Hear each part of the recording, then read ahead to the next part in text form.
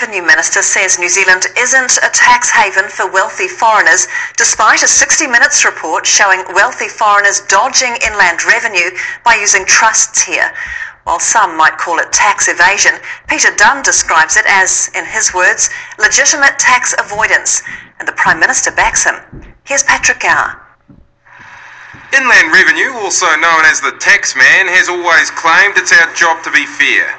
But now the Revenue Minister says when it comes to wealthy foreigners funneling money here to avoid paying tax, that's, well, fair enough. I think the, ta- the term tax haven is a gross exaggeration because it implies illegality, it implies tax evasion rather than legitimate tax avoidance. Yes, Peter Dunne said, quote, legitimate tax avoidance, even though the Inland Revenue website says tax avoidance is wrong, and the average taxpayer on the street says Dunne is wrong too. I think there's such a thing as legitimate tax avoidance. No.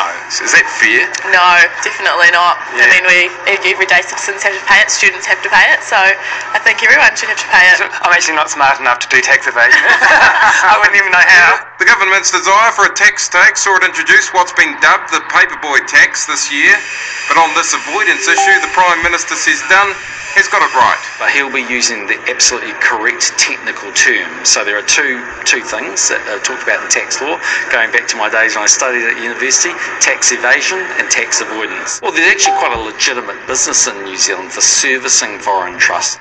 Key says under the law, tax evasion is illegal, but tax avoidance is not. The Prime Minister's telling ordinary taxpayers that they're there to pay all the taxes, to pay for the schools and hospitals, and billionaires and the ultra rich don't have to pay tax. Look, tax avoidance, tax evasion, it's basically the same thing. There are 3 million New Zealanders paying income tax. Peter Dunne wasn't commenting further today, so we asked Inland Revenue for a list of legitimate tax avoidance measures like those used by foreign trusts.